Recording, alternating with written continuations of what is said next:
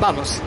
Eh, En ventas nosotros siempre vamos a estar en, busca de una solución. Se nos presentan diversos problemas, ¿ok? Los problemas tienen que ver con logística, tienen que ver con productos, tienen que ver con servicios, tienen que ver con el personal, ¿ok? Tienen que ver a veces con la estructura de la locación, del comercio, tienen que ver a veces con la municipalidad, en este caso de la ciudad de Miami Beach, eh, tienen que ver con diversos factores, ¿ok? Tienen que ver a veces con un, con un email que no llegó a tiempo, tienen que ver con un correo que no ha llegado a tiempo, que estamos recibiendo un, un, UPS, un, un FedEx, lo que sea. Tienen que ver con muchas circunstancias, tienen que ver con algunas políticas de la compañía que han sido este, suscritas hace algunos años y tienen que ver con el video que vamos a hablar en un ratito y que no se pueden modificar o que, y que hay que ceñirse a, las, a, a la- a las políticas de la compañía y entonces eh, no se puede proceder. Pero siempre estamos buscando soluciones. En ventas siempre estamos buscando soluciones. A veces, escúchenme porque esto sí tiene que ver mucho con el video que vamos a, a describir en este momento. A veces hay que tomar medidas, ¿ok? Que no suscriban precisamente a la constitución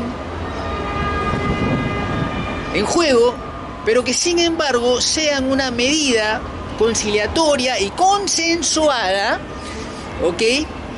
Consensuar quiere decir que llegas a un acuerdo, no quiere decir que participas en la provisión de entendimientos, ¿ok?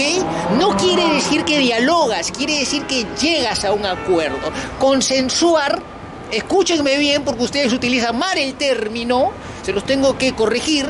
Consensuar quiere decir que habías llegado a un acuerdo producto de, ¿ok? En fin. Entonces, a veces tenemos que tomar medidas drásticas, ¿ok? Las medidas drásticas en ventas a veces puede ser un despido, lo cual es, algo muy, muy duro, obviamente, ¿no? Este, y, tiene mucho que ver con este video, casualmente. Qué cosa, qué cosa loca, ¿no? Cosa curiosa. Escuchen esta, esta, esta bulla que está acá detrás mío. Se está, está celebrando el Gay Parade acá en South Beach. Ustedes saben, este es este, Sodoma y Gomorra y me parece muy bien que la gente celebre su orientación sexual, ¿ok? Ahora bien, vamos con el video. ¿Qué es lo que sucede? ¿Qué es lo que sucede?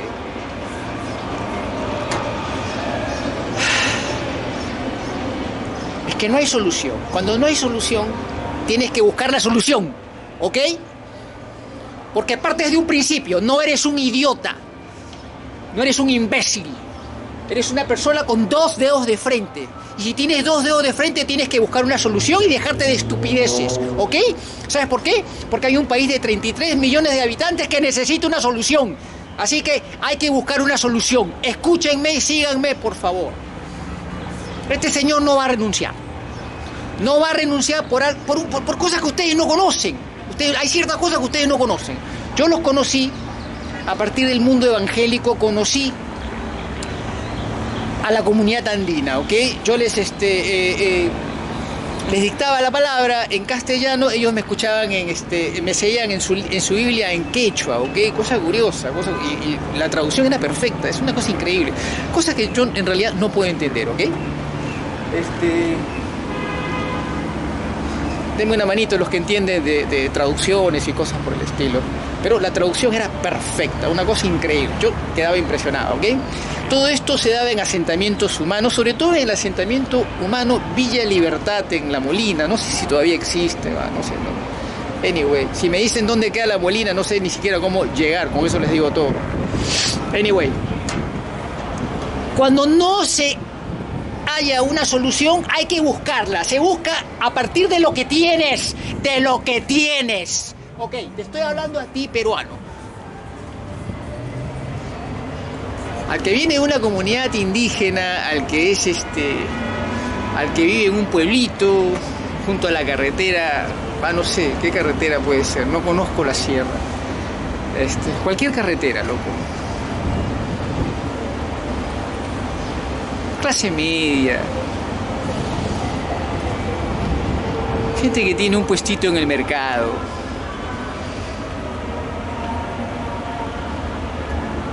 Clase media emergente. clase alta, aristocracia, alcurnia peruana, ¿ok? Gente que viene del siglo XIX.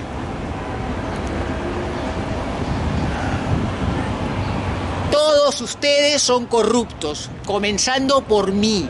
Si eres peruano, eres corrupto. Tu DNA es de corrupto, ¿ok? Eres corrupto. No solamente eres corrupto, eres asqueroso. Asqueroso, ¿ok? Eres asqueroso y corrupto. Todos los peruanos somos corruptos, ¿ok? No existe uno solo que no sea corrupto. Arroje la primera piedra el que esté libre, libre de pecado, ¿ok? No lo digo yo, lo dijo Jesús, loco. Vean la Biblia. Todos somos corruptos. Es cierto, el que asume una cartera ministerial o un puesto público y mete la mano a la lata, efectivamente uno puede decir, miren este señor metió la mano a la lata, robó tantos millones de dólares. Es cierto, eh, uno empieza a ver el volumen de la corrupción y uno dice, este es corrupto, yo no soy corrupto. Es cierto, yo lo entiendo, yo lo entiendo, está bien, hasta ahí nos entendemos. Es cierto, yo no haría eso, hay cosas que uno no haría, pero ¿quién no le ha dado, quién no le ha dado este, 5 soles, 10 soles a un policía alguna vez en tu vida? Ningún peruano puede decir, o quién no ha aceptado que lo pongan en la fila, que lo pongan adelante. Ya les describí todas las comunidades, incluyendo la alcurnia, la alcurnia peruana. Todos, todos alguna vez hemos, hemos usufructuado de algún puesto que hemos tenido, de alguna gollería que hemos tenido, cosas. Ninguno de ustedes puede decir, yo soy un santurrón. El santurrón, el santurrón, el santurrón, el santurrón. Ninguno, ninguno de ustedes puede decirlo. Entonces, dado que este señor no va a renunciar, conozco a las comunidades andinas, manejan un... Ah, manejan una fraseología, una hermenéutica, un, una filología diferente, ¿ok? Tienen un hermetismo donde hay ciertos constructos teóricos que a veces es el enlace de una palabra con un adagio popular y que se junta con una música y con una canción y entonces eso determina un significado a partir de una serie de significantes, ¿ok? Y se hablan entre ellos y se entienden. Son cosas que ustedes que me están escuchando no lo van a entender. Este señor no va a renunciar por diversas razones y además porque no quiere ir preso. Si este señor no va a renunciar, si no estamos de acuerdo, escúchenme porque esto es muy importante. Si no estamos de acuerdo con que la señora Dina Boluarte asuma la presidencia, ¿ok? Segundo punto, porque representaría, no tiene la, la carencia que tiene este señor, obviamente, ¿no? Pero ¿qué puede ofrecer esta señora, por Dios? Si canta como un jibarito, ¿qué cosa? American Idol, ¿Qué, no sé cómo se dice en el Perú. ¿Qué ofrecer? ¿A quién va a llamar a esos 27, 28 asquerosos ministerios? Tendrían que ser tres o cuatro, como mucho. Qué horror, Dios mío. Qué. Anyway, qué ganas de destrozarlo todo, por Dios. Qué ganas de destruir un país. ¿Qué va a hacer esta mujer? Tina Boluarte su nombre. ¿Qué va a hacer? No está calificada para asumir una presidencia. ¿Para qué? ¿Para qué? ¿Para, para qué? ¿Qué va a hacer? Si esta señora Alba, si esta señora Alba que es clase alta, ahí rozando con la aristocracia, si esta señora Alba es deplorada, detestada y apestada por todo el Perú, casi y hasta por la misma comunidad este, eh, clase alta peruana. Y esta señora Alba generaría una circunstancia de mucha confrontación, de mucha confrontación. Y eso sobra, y más peleas, y más esto, más lo otro. Y aparte esa ambición que tiene, ¿no? Esta, esta, tan golosa de quererse comerse la banda presidencial y querer, y querer asumir a, 60 días de, dejar el cargo. Entonces generaría una situación eh, de mucha incertidumbre es la palabra, de mucha incertidumbre que no es lo que necesita el país, ¿ok?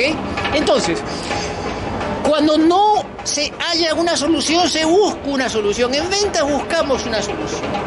¿Cuál es la solución que yo propongo? ¿Ok, Miguel? Esta es la solución. Llamar a una, a una junta de notables. Llamar a una junta de notables.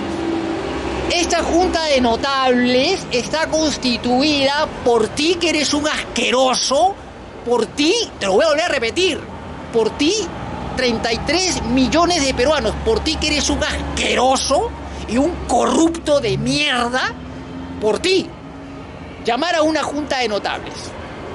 Siete sujetos. Siete sujetos que representen, para mí tendría que eh, marcar un liderazgo el tema de la comercialización, ¿ok? De las ventas, ¿ok? Tendría que marcar, lo voy a repetir, es muy importante, un liderazgo en esta junta de notables, yo diría que unos siete, un número perfecto, un número bíblico, ¿ok? Una junta de notables, siete sujetos que conduzcan el país mientras se llama a elecciones generales, ¿ok? Escuchen lo que les voy a decir. Estos siete sujetos no asumen la presidencia, asumen la dirección del Ejecutivo. Se disuelve el Congreso. Estos siete sujetos asumen la dirección del Ejecutivo. Siete sujetos, una junta de notables, de asquerosos y corruptos. Pero son llamados dentro del universo de gente representativa, ¿ok? Que no tuviera esa resonancia, esa resonancia de haber malversado fondos o de haber transgredido la ley o cosas por el estilo. Que estén medianamente, ¿ok? A la altura de asumir esta junta directiva, siete, siete sujetos notables, una junta de notables, una junta de notables que además son asquerosos y corruptos. Porque ese es el peruano, somos todos asquerosos y corruptos. Quítense esa estúpida idea de la cabeza de que tú eres un santito. Santito, los 24 ancianos ahí, alabando al Señor, en el trono del cielo. El que lea entienda, animales de mierda, nunca en su puta vida han leído la Biblia y se declaran católicos como yo. Yo soy católico, pero yo conozco la Biblia. Es que se me ponga, que me ponga uno enfrente, carajo, a debatir Biblia, le rompo el culo.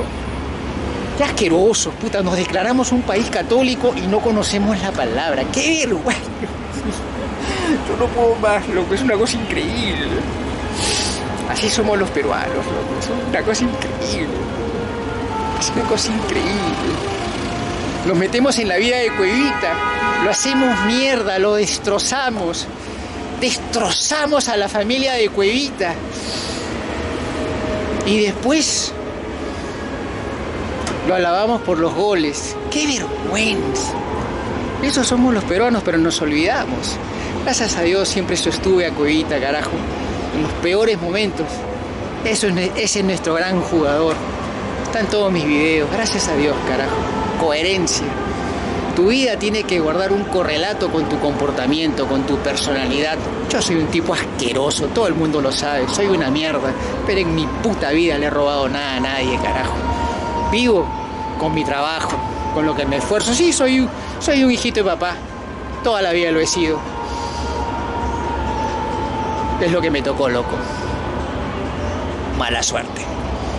Que no le gusta que se joda. Anyway. Una junta de notables. Tiene que asumir una junta de notables. Sí, no está en la constitución.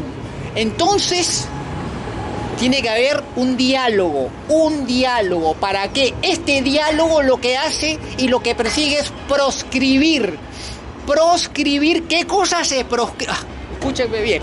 ¿Qué es lo que se proscribe? Se proscribe la asunción de la vicepresidenta, la asunción de la segunda vicepresidenta, se proscribe la asunción de la presidenta del Congreso y se llama a una junta de notables que debe ser elegida. Ese es el problema, debe ser elegida por quién, ese es el problema. Denme ustedes una manito, ¿quién elegiría esa junta de notables? Se puede llamar a una suerte de elecciones, va, no sé, ese es un tema bien complicado, ¿ok? Al Congreso no le puedes dar esa opción porque implica su disolución y estos de, de no tienen un pelo, ¿ok? Pero lo que tiene que... La calle puede llamar a una junta de notables, ¿ok? Es una, es una buena, es una opción también. El defensor de pueblo podría ser una opción. Hay algunas entidades que tendrían que manifestarse, esa es una opción también. La sociedad civil es otra opción. Este, el tema de las universidades, rectores, yo diría que no va por ahí. Hay universidades que realmente están vendiendo eh, eh, eh, programas que en realidad no, han producido absolutamente nada. Y les estoy hablando de las mejores universidades del Perú, de las mejores, ojo, que han producido nada, realmente nada, nada, sin nada. yo no veo nada. Se tiene que llamar a una junta. Ahora, ahora bien, ahora bien, ¿cómo se llama a una junta de notables? Ese es el problema. ¿Quién los llama? El, en este momento, el único organismo que podría asumir es una junta de notables. Siete, siete, siete personajes asquerosos y corruptos como todos los peruanos, como todos los peruanos. Están los que metieron la mano a la lata un poquito más que los demás pero gracias a Dios todos los peruanos somos corruptos. Hay países que son más corruptos que nosotros, ¿eh? Yo los conozco. Diez veces más corruptos que nosotros. Diez veces. Ay, Dios mío. Si ustedes supieran lo que era Venezuela antes de, antes de la asunción de este, de este Chávez en el. ¿Cuánto, ¿Cuándo asumió? 97, 98. Del siglo XX. Si sobre 100 Perú producía 12.5, Venezuela, para que ustedes sepan, ustedes que conocen muy poco estas cosas, Venezuela producía, si Perú producía 12.5 sobre 100, Venezuela producía más o menos 78, 80, 82 sobre 100. Para que vean ustedes la diferencia entre lo que era Perú y Venezuela, Venezuela y Perú en aquel entonces. Pero Venezuela era más corrupta que Perú. Brasil es más corrupto que Perú. La Argentina ni hablar, en la Argentina se roba millones de dólares, pero los peruanos somos muy corruptos y además somos asquerosos. Entonces, se tiene que nombrar esta junta de notables de corruptos y asquerosos, como todos ustedes, como todos ustedes. Cada vez que te levantes y digas, puta, soy peruano y soy corrupto, y además soy asqueroso, porque eso es lo que eres, ¿ok? No te la pegues de santurrón de Santurrón no tienes nada asqueroso y asquerosa, corrupto y corrupta. Una junta de notables. Esta junta de notables llama a elecciones generales. Es la única solución porque el pueblo, escuchen, la calle no va a aceptar que asuma ninguno de estos impresentables. ¿Qué va a hacer Dina Boluarte, por Dios? ¿Qué va a hacer esta mujer? ¿Va a, cantar, ¿Va a hacer otro canto del jibarito? No, por Dios, no. Qué horror, Dios mío. Qué horror. Tiene que ser una junta de notables que llame a elecciones generales. Ahora bien, escúcheme, esta parte es muy importante. Esta junta de notables llama a elecciones generales y se nos tiene que dar oportunidad a los que representamos un cambio, una alternativa. Yo soy uno de ellos. Yo me voy a presentar a la presidencia de la República, pero necesito tener el conducto, el canal. Necesito tener la viabilidad para llegar a presentarme porque si no tengo la llave para tocar la puerta del Jurado Nacional de, Elecciones, no me puedo presentar. Yo puedo representar el cambio, yo puedo representar el futuro del país, incluso, incluso el futuro de una nación. Pero si no tengo la llave, no me sirve de nada. No me sirve absolutamente de nada. Entonces, esta junta de notables tiene que abrir una puerta para que todos estos partidos de los que venimos premunidos, que no ofrecen nada, es la misma mierda, la misma mierda, la misma mierda, la que viene repitiendo este muchacho, este, el diario de Curwen. Van a ser los mismos, la misma mierda de siempre. Porque claro, nosotros, los que venimos por atrás, no tenemos la opción de, porque no tenemos la llave para tocarle la puerta al Jurado Nacional de Elecciones. Entonces tiene que abrir una suerte de rendija para que nosotros podamos tener una oportunidad. Los que ofrecemos algo para el país, un cambio, un cambio de verdad, los que tenemos una visión, los que realmente queremos hacer cosas positivas para el país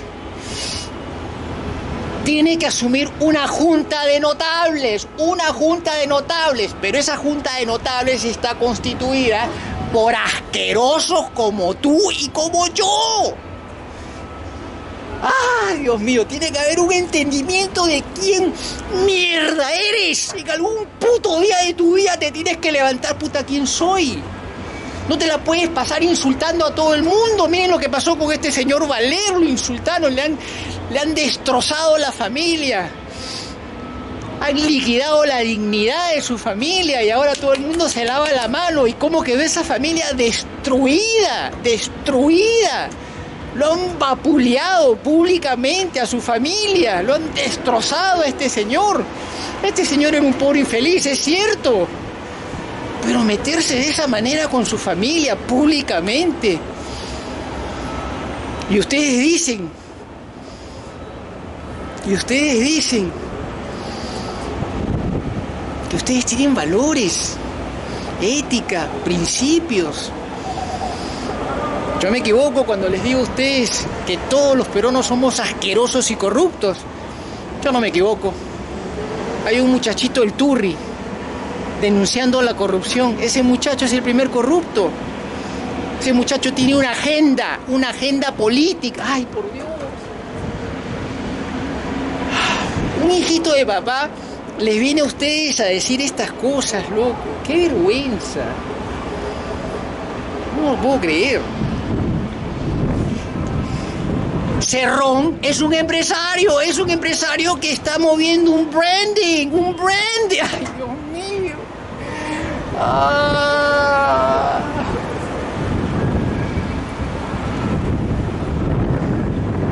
Cerrón es un experto en marketing, es un experto en ventas, es un experto colocando productos y servicios en el mercado, por Dios. Y ustedes se comieron la del, comunismo. ¡Qué brutos que son! ¡Brutos! ¡Ay, Dios mío! Yo no lo puedo creer. Es que es una cosa, es, es una poquedad. La capacidad del peruano para entender las cosas. Pero ¿qué tienen en el cerebro? Es que un poquito de materia gris. Este señor está presentando un branding, un branding que se llama Vladimir Cerrón Rojas. Él presenta un producto, él es el producto. Nada tiene que ver con el comunismo, Mao Zedong, Lenin, troxista, marxista, leninista, mariateísta. Tiene que ver con eso, le importa un carajo, ese es el conducto que él ha elegido para llegar al control de lo que significa eventualmente un régimen castrista que tiene que ver con el control, que no tiene nada que ver con el comunismo, tiene que ver con llegar a favorecer una élite Ay, Dios mío. No es fácil hablar con Brutolandia. Brutolandia es una cosa que... ¡Ah! Y esto se lo dice un hijito de papá. un hijito de papá les dice estas cosas que yo no lo puedo entender. ¡Qué brutos!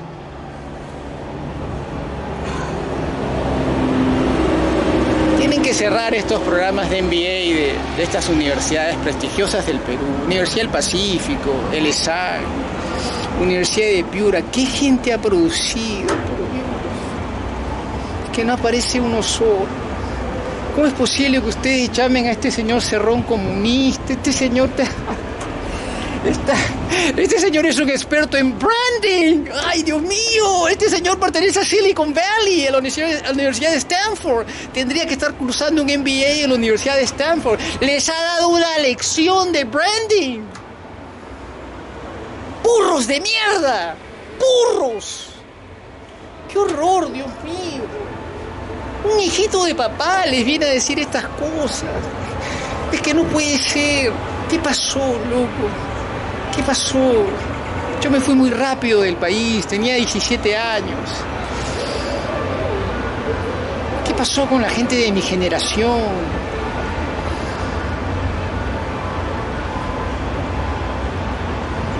¿Qué cosa? Una vida al vacío, no han hecho nada, loco.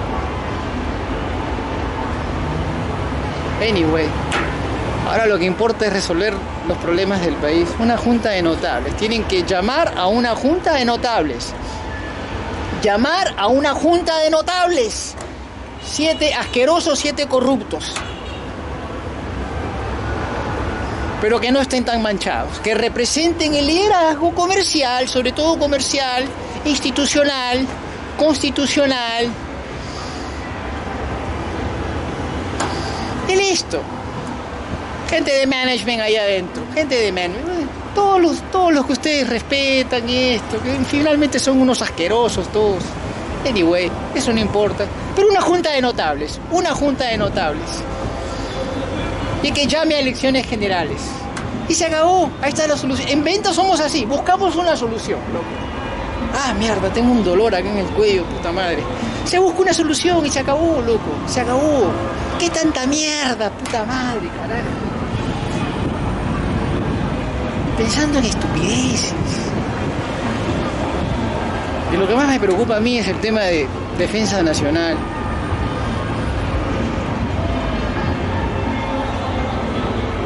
Qué lástima. No tienen un liderazgo.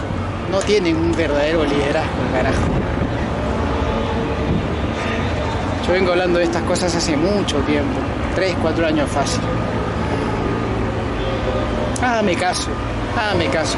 Yo soy peruano, soy hijo de peruanos. Tengo pasaporte peruano, tengo libreta electoral peruana. Yo sé las cosas que les digo. La mejor opción es una junta de notables, una junta de notables. Pero saber quién eres, loco. Saber que eres un asco, que apestas, que apestas de lo corrupto y corrupta que eres. Ese es el peruano, loco. Hay países más jodidos que nosotros, ojo, ¿eh? Nosotros las zafamos. Yo soy Miguel, desde South Beach, Florida. El Mar de Grau, presente. Arriba, siempre arriba, carajo. José Quiñones, mierda, vive el Perú.